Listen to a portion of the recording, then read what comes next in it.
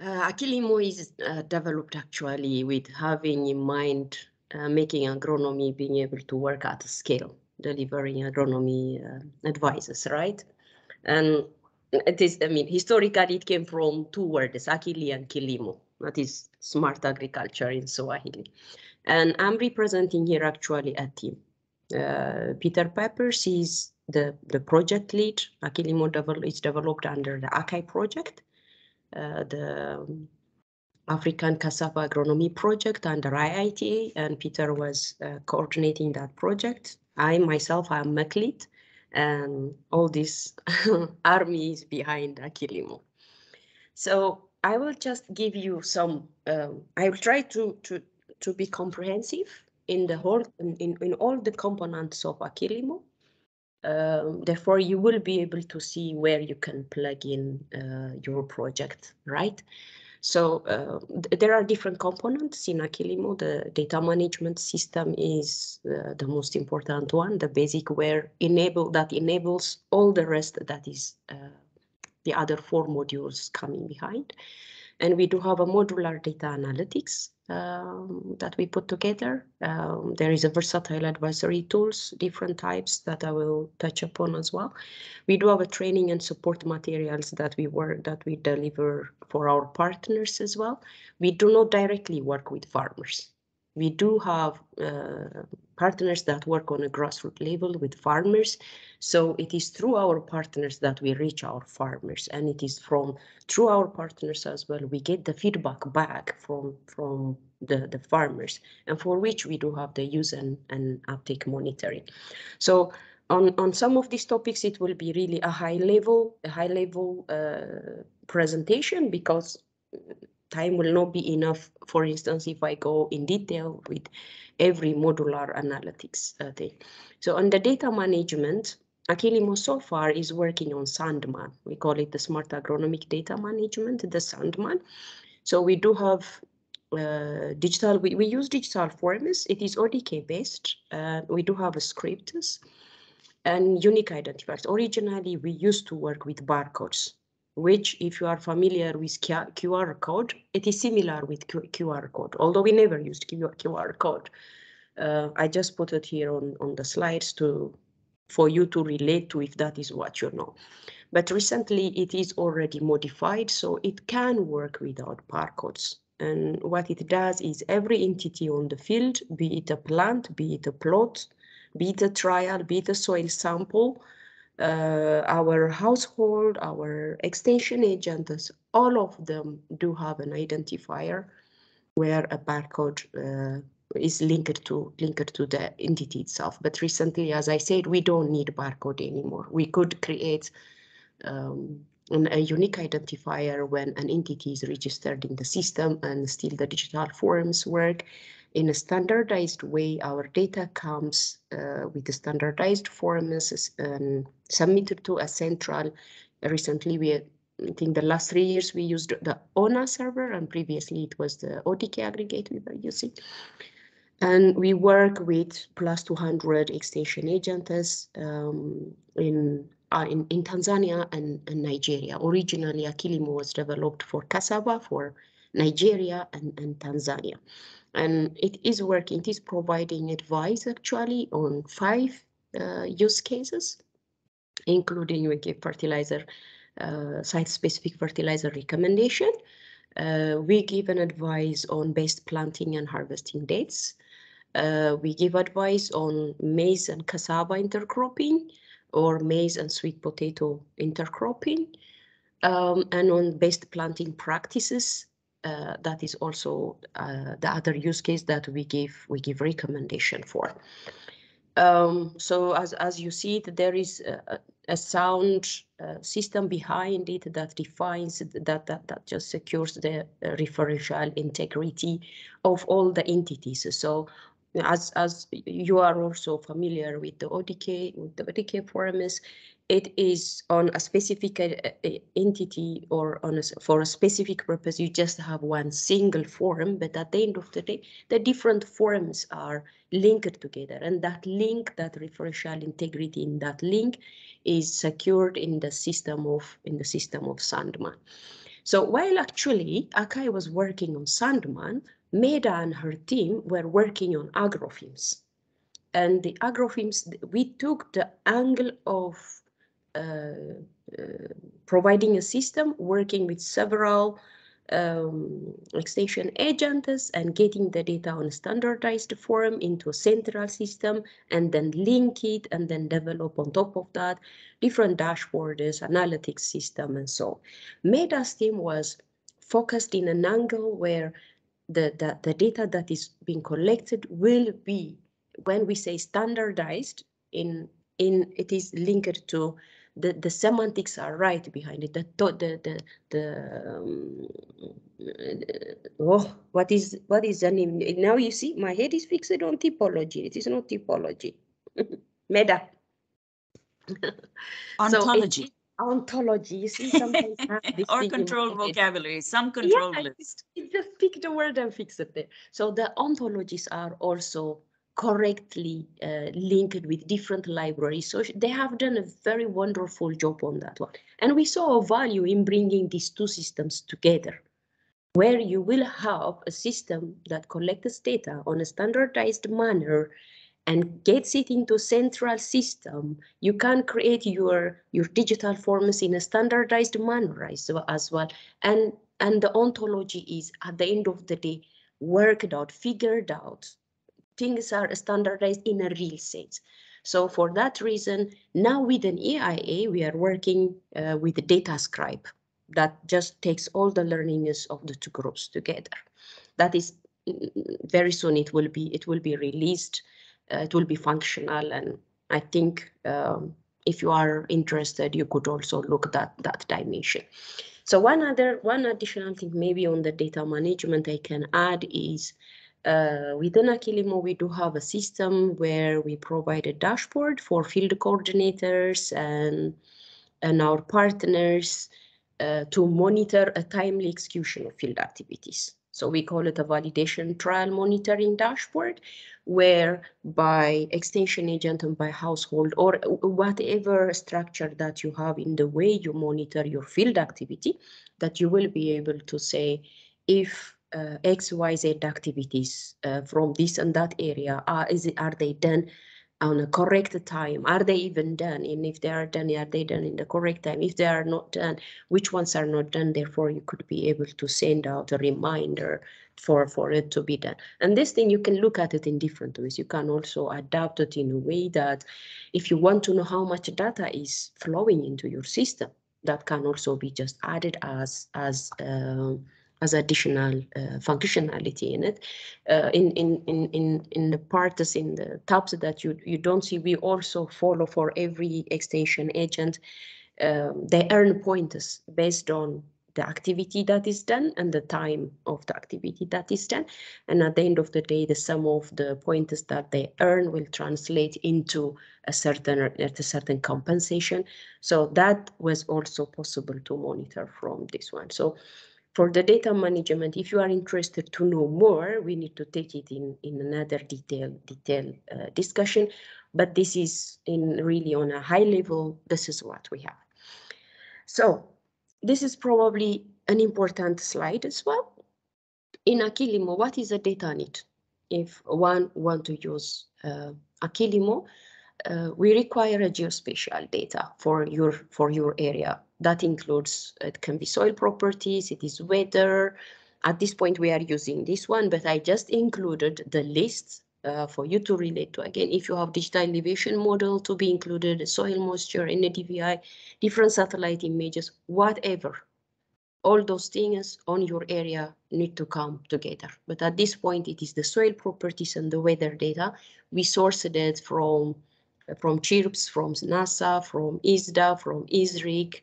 Uh, these are the data that are we are using at this point in Akilimo. On the response to nutrient data, if you are focusing into fertilizer recommendations, site-specific fertilizer recommendation, we need to have response uh, data to nutrients. Um, it can be trials conducted in the target area. Uh, preferably, that will be it, uh, trials that you know of the quality that, that are done with, with a different level of nutrient input, a yield response. Uh, it could be from partners who did this kind of job in your area. But if in the absence of any uh, response to nutrient data in your area, probably the, the next best thing to do is to uh, go and see uh, in another similar areas if there are the kind of learning as at least as as as a version one kind of advisory you could base your your analysis on right? So you can take that one and we can start from that version one.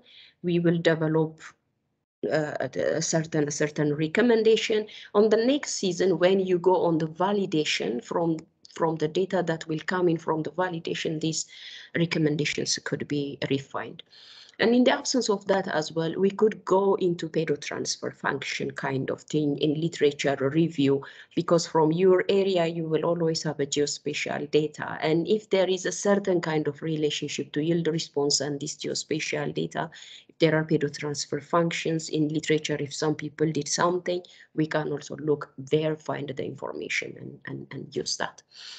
Um, and additional data that we need to make it really site specific will be what kind of fertilizers are available in your area of interest.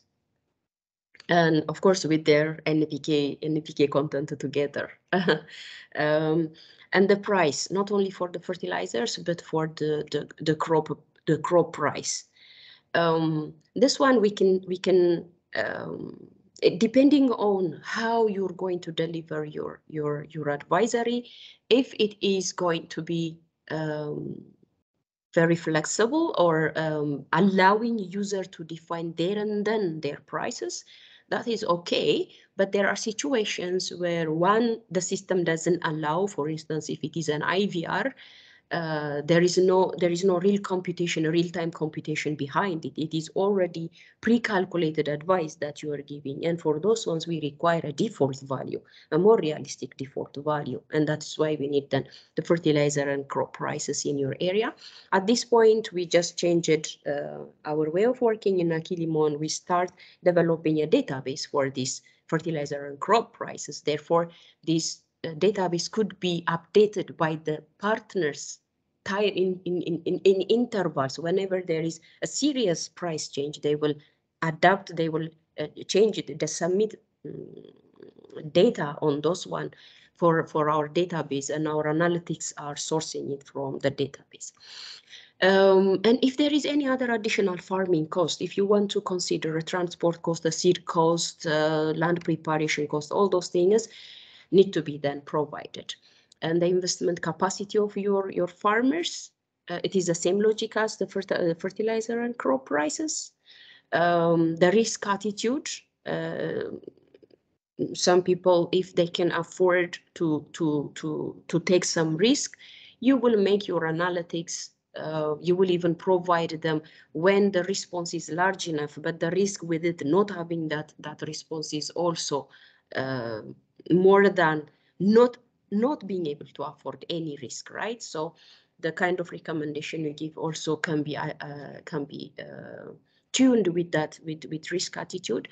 Uh, the planting and harvest dates, the preferred ones, you can optimize it once you take their preferred one. You can optimize it in that in that window, in close to in in weeks around their preferred planting and harvest dates you can uh, recommend based on historical weather data that we can do. A farm area, we need to have, of course, the GPS and some local soil fertility indicator. At this point, we are using what are the farmers current yield? What are they getting now? Any investment that increases yield from their current yield should be profitable. Therefore, we can advise. If it is not profitable, we will just uh, let them to uh, to continue to what they have been doing. So these are the data needs for, for Akilimo. Uh, on the analytics, I will just briefly go over it. Uh, if you want the detail, that needs to be another thing, but we use uh, satellite-based weather data, digital soil maps, we apply machine learning, we apply crop models, we do have price optimization. So the combination of all this gives a power to Akilimo to give agronomy uh, advice as at, at a scale.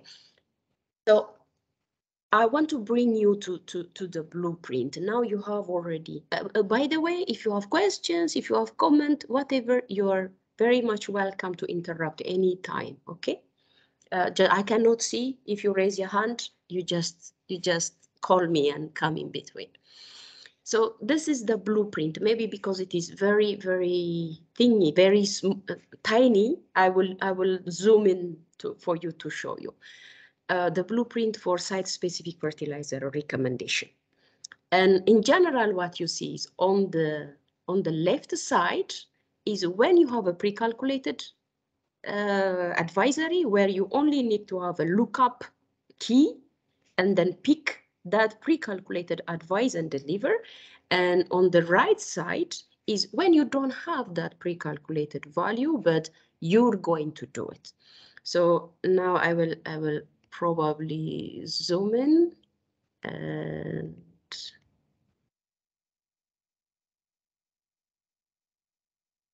yeah if I do it like this, so if you look at it on the, uh, when you have a pre-calculated recommendation already, you take the GPS. If, uh, uh, if, if there is a GPS capability, it won't work with IVR, but it will, it might work for, uh, not for probably, I think chatbot can do that, I'm not sure. Um, but if it is if it is a highly aggregated fertilizer recommendation you are giving it with uh, as a mobile application you can do that so if you do have a gps capability you go by the gps capability uh, this determine hsc it is uh, a bit uh, encrypted but it is just saying that your location name it can be on a village level on um, a bit bigger, I don't know, district level, whatever, right? And then you will just check if there is recommendation available. If yes, you you will you will you will provide it. So this one is rather straightforward. It can be GPS level, it can be uh, a region or or some some local government area or some farmer association or whatever. In that way, you can code it, and with with the lookup key it works. but what is more interesting is when you don't have it. When you don't have it, so we are we are sourcing our weather data, our soil data, our crop parameters. Uh, the crop parameters we are using it for within the, the crop models. Uh, we currently are using QUEFTS, LINTUL, and, and DSSAT output. These are the three crop models we are using. There are more other other uh, crop models out there, but at this point they are not part of Akilimo. So we will get this data based on the GPS coordinates that we create for uh, your area of interest, right? If it is if it is Zimbabwe and you select it is the western and southern area, and you will define at what resolution do you want to? Is it are you okay with five by five kilometer? Are you okay by uh, 25 by 25 kilometer getting one recommendation or you want to do it one kilometer by one kilometer based on your preference you will generate that regular grid system so you will have so many hundreds or thousands of data pointers each point represented by the center of the coordinate right? So we collect our data we collect our our uh, crop parameters and then we will we will put them um, some some of them uh, because sometimes it takes it takes it is just too much and it is so many unnecessary data will be lumped together. But there is a processing that goes that groups this data in a way that the analytics will will take it in a most efficient way. So we do have the spatial and the soil weather uh, the spatial soil and weather database. Um, and and um, the regions and the default values, all these things that I, I said we need data for Akilimo, they all will go into their, their respective um, databases. So what we do next is, of course, the, the crop parameters uh, will be will be prepared, and these crop parameters will get into DSSAT, will get into LINTUL, and then later they will also get into QUEFTS that we will use. And the the Sandman, the agronomy database, that is where I told you we need response to nutrient data from the field. When it comes there, we will extract and it goes it goes through some curation and pre-processing step. Uh, like any data analytics, right? What we do within within Akilimo is we feed linear mixed uh, effects model to extract the BLUPs. Therefore, we will be able to go on further only with structured variability, uh, which means that the response due to the, the, the treatment, the response due to the location, the response due to the year difference, these, these parameters are extracted and the, we call them BLUPs. Uh, that's the output of the linear fixed, uh, the uh, mixed effects model. So from here on, it is the BLUPs. It's only the structured variability dropping as much as possible the residual variance that we cannot explain from where it comes. Therefore, we cannot relate it to a location or to a treatment. Those ones are filtered out, and the structured ones will get into will, will get into QUEFTS. So here, what do we have with LINTUL and DSSAT? We are uh, generating using the input from our, our spatial soil data, our crop parameters are giving us the water, lim water limited yield or the potential of the crop on that specific location, right? Um, and this, the water limited yield goes into the, its own database and from there on with the BLUPs that we get from here, it gets into the machine learning system. In the machine learning system, we use uh, random forest uh, analytics there. What we are trying to do is relate the soil data and the other geospatial data and the farmer's current yield class, not a specific, not the absolute uh, thing, but in, in class is that a low, a low, uh, uh, the infertile soil, medium fertile or high fertile, it is that kind of class. What response, what kind of yield farmers are getting uh, will, will tell us is it highly responsive or not. That is the idea. So combining the geospatial data and this, uh, the local soil fertility indicator, we call it, we will do the machine learning and we will be able to uh, define at that point what is actually the fertility level, what is the indigenous nutrient supply that is available in the soil in that area. Within that five by five kilometer, in average, what is the indigenous nutrient, uh, uh, nutrient supply? And that will be combined with the water limited, with water limited yield, which is like the yield ceiling at this point and we come into QUEFTS and we will we will predict what is the current yield that they are getting, right? So we do have what in on the farmer's field from from the machine learning, we already predicted the soil fertility level, and we know what maximum the yield ceiling is. Therefore, with two together, we can define the, the current yield. And here comes so many things. This big one here, I don't know if you can see my cursor, rank vectors predicted predict target, target yield or optimization algorithms. Here is most of the things. Until now, we are all doing preparation and all what we have done comes, boils down at the end here. And here in between, you see that I, there is there is a part I jumped. I already I only to show you the left and the right wing of the blueprint. In the middle, what is there is the user input that we require.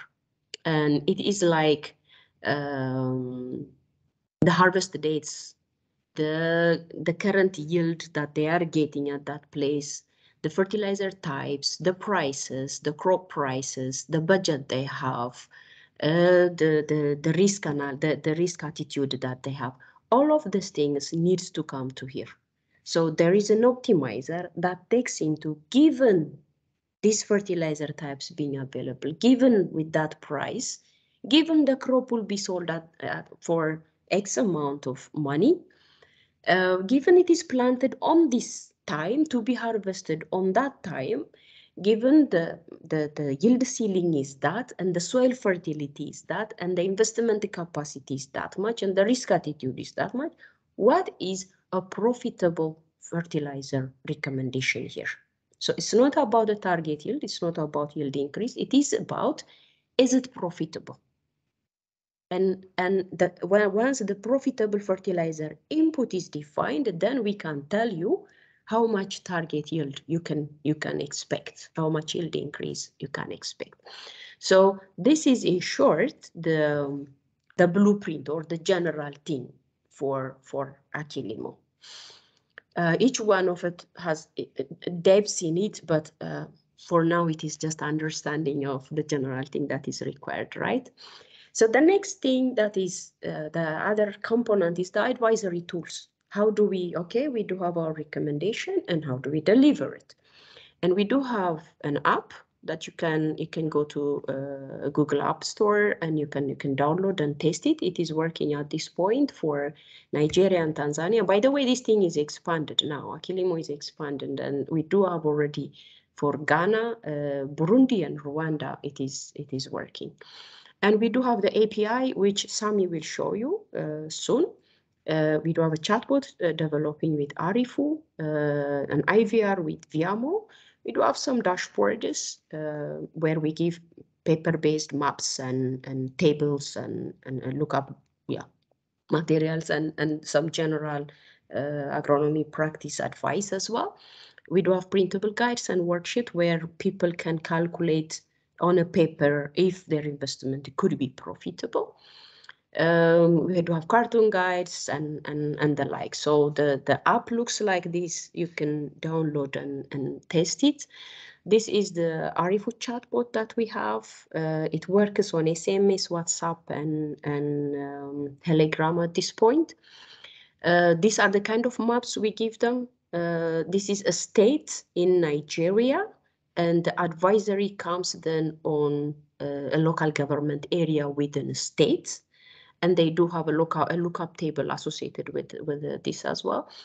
Uh, the printable maps, uh, which in in six steps we summarize what they have to do if they are to see the the profit from the advice, and then it has the the table the worksheet that I told you to calculate if it is profitable for them.